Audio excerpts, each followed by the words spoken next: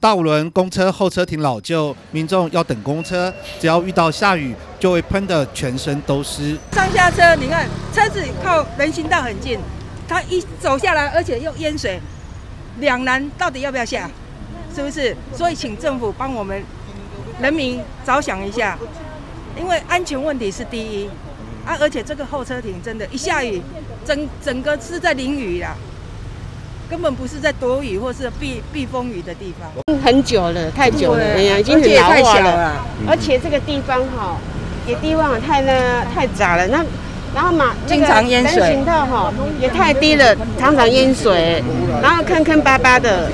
这走路都不好走，连我们这个好好好的人走的都快跌倒了，都不小心都会踢一脚这样子。大五轮公车站牌除了是基隆市公车必经之路。也是国道客运黄金路线，班车使用率高。不过公车候车亭已经老旧不堪，不仅候车时不方便，民众上下车遇到积水更是困扰。使用率很高啊，因为是老旧了，所以建警公车处哦，赶快更新啊，方便我们这。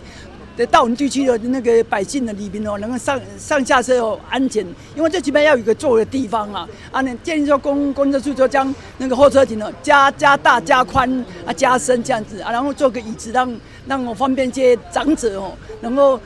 呃那个上下车的时候方便在使用这样子。市议员林佩祥、郑凯琳邀集了里办公处和公车处人员到场会勘，建议将候车亭加宽。方便候车民众遮风避雨。它不但是四条四公四条四公车汇集的地方之外，也是我们安乐区甚至全基隆市最主要的黄金路线一八一五跟九零二六必经的上下班路线。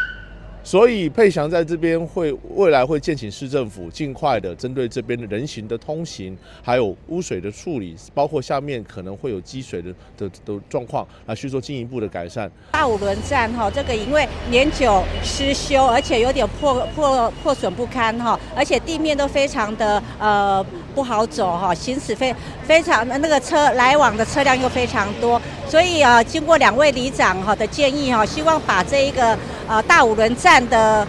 呃。站牌能够再往扩增大一点，然后把它更新，让我们这边呃使用的居民哈能够更方便的来候车。现在我我们的公车处财政也有点困难嘛哦，所以在这边我们呃安乐区的我们四位国民党籍议员凯琳、佩祥啊、余生发跟秦真秦议员，我们四位啊国民党籍的议员哈会努力来争取经费哈啊将我们的建议经费哈来使用在我们今天的大五轮站牌。经过现场。会刊将由安乐区四位议员林佩祥、郑凯琳、秦真及于三发争取邻里建设经费，重建候车亭，让民众候车空间更舒适。记者黄少明、纪勇报道。